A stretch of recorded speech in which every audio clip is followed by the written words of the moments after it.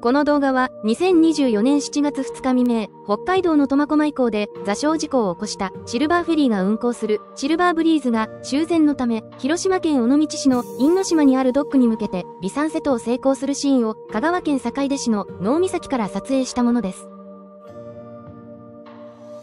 能岬から北東方向の離散瀬戸を望みます。美山瀬と東航路を成功してくる船は、シルバーフェリーが八戸港と苫小牧港の間で運航するシルバーブリーズです。先日発生した座礁事故の修繕のため、因島のドックへと向かっています。事故の概要をご覧ください。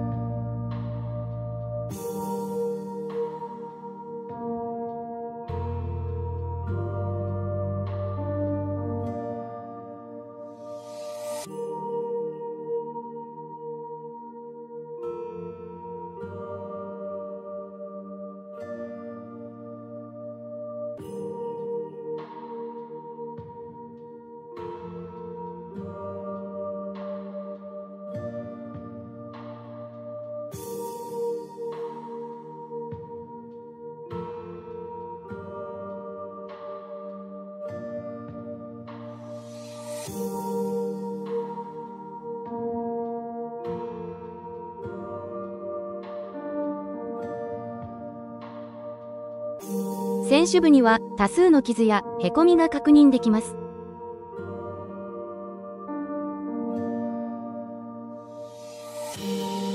本船が瀬戸内海を航行することはめったにないレアシーンなので、この後もしばらく航行シーンをご覧ください。